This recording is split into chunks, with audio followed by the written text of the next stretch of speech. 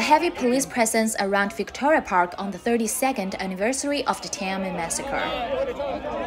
Local media said at least 7,000 officers were deployed throughout Hong Kong.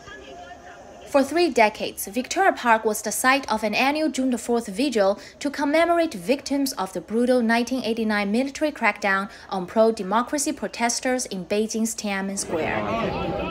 But for the past two years, Hong Kong authorities have banned the vigil, citing the coronavirus pandemic. The move has sparked concerns about the suppression of freedoms in the semi-autonomous city. Beijing does not permit any Tiananmen commemorations.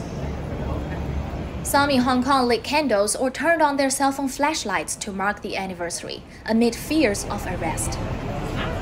Others gathered for memorial services in local churches.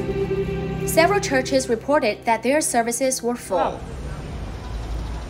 Early Friday, police arrested Chow Hang-tung, leader of the Hong Kong Alliance in support of patriotic democratic movement in China.